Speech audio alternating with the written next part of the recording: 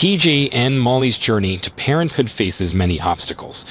They spent a lot of time and effort to find a suitable surrogate. But after Andrea's miscarriage, the couple decided to get help from Kristina, who wanted to give wings to their journey.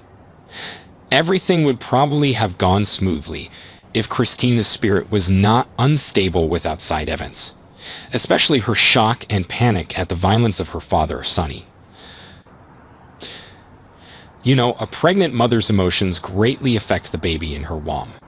So TJ and Molly couldn't help but worry about Kristina's mood. TJ's mounting frustration and exasperation with Alexis' second daughter's impulsive tendencies and her notable association with the criminal underworld were unmistakable, as he criticized her character and lineage with a pronounced edge of disdain. On the other hand, his lover expresses trust towards her older sister. As the chasm between Molly and TJ widened, the friction that reverberated through their relationship as they grappled with irreconcilable differences was palpable. Molly's hopes for a harmonious co-parenting dynamic clashed with his deep-seated aversion towards Kristina's pivotal role as the surrogate, laying bare the stark divide.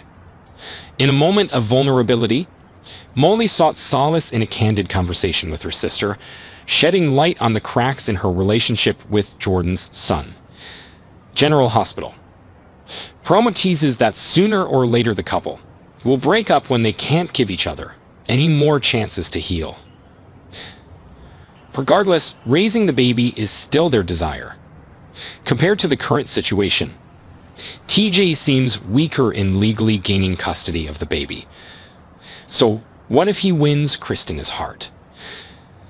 Of course, it's just a selfish love for his own agenda. Meanwhile, Sonny's daughter has a beautiful love affair with Blaze. However, a lesbian love story will be a big obstacle for them, particularly a famous singer like Blaze. The storyline will become more dramatic if Kristina and TJ become a proper couple.